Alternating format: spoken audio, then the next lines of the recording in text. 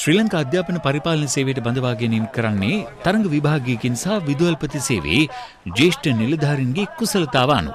ඒත් අවුරුදු ගණනාවකදී විවස්සාවට පටහැනිව මේ සේවා සඳහා පත්වීම් දීලා තියෙනවා කියලයි ශ්‍රී ලංකා අධ්‍යාපන පරිපාලන සේවා වෘත්තීය සංගමය කියන්නේ. ඒ විදිහේ අවිධිමත් පත්වීම් ලබා දෙන්න එපා කියලා ඉල්ලමින් අද ඒ අය මේ විදිහට විරෝධය පළ කළා.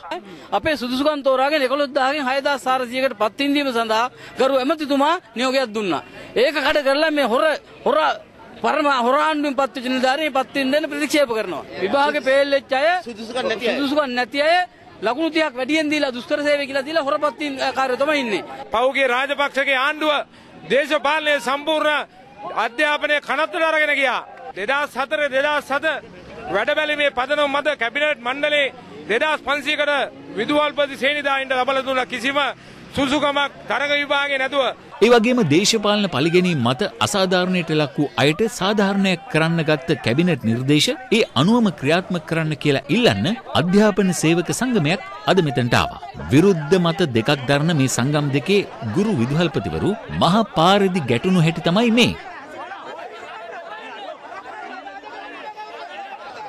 දේශපාලන පලිගැනීම් කියලා ශ්‍රී ලංකා ගුරු සේවය ශ්‍රී ලංකා විදුහල්පති සේවය ශ්‍රී ලංකා අධ්‍යාපන පරිපාලන සේවය ශ්‍රී ලංකා ගුරු අධ්‍යාපනක් කියන සේවාවන්නේ සේවා ව්‍යවස්ථා උල්ලංඝනය කරලා පත්වීම් දෙන්න සූදානම් වෙනවා. සම්පූර්ණයෙන්ම අපි ඒකට විරුද්ධයි. මේ අයගේ මේ මේ අයගේ මේ විරෝධතාවය තියෙන්නේ අපි දන්න විදියට සම්පූර්ණයෙන්ම අපිට විරුද්ධව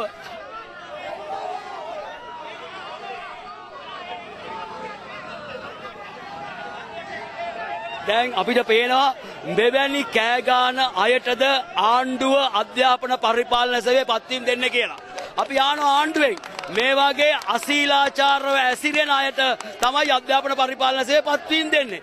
හොරෝ මේ වගේ උන්ටද පත්වීම් දෙන්නේ? මුන්ටද පත්වීම් දෙන්නේ? බලන්න බලන්න පත්වීම් දෙන්න ඕනේ. මේ හරිද පත්වීම් දෙන්න ඕනේ. පච්ච හොරෝ මොන ලැජ්ජාවද මහත්තයෝ මොන තරම් වී ලැජ්ජාද මෙයාට කොයිද අධ්‍යාපන මෙයාට කොයිද අධ්‍යාපන පරිපාලන සේවය මේ ගැන අද අධ්‍යාපන ඇමතුමත් කතා කළා. ඕන කෙනෙකුට ඇවිල්ලා මේ කමිටුවේ මේ සුදුසුකමකට හෝ එහෙම නැත්නම් ඒ සම්බන්ධයෙන් දේශපාලන පරිගැනීමට හෝ අසාධාරණයක් වෙලා නැහැ කියලා පෙන්වන්න පුළුවන් නම් අන්න ඇවිල්ලා කමිටුවට කමිටුවට කියන්නේ මේගොල්ලෝ නැහැ කියලා අපි අපි ලෑස්ති ඒ සම්බන්ධයෙන් නිවැරදි සාධාරණ ඉෂ්ට කරන්න.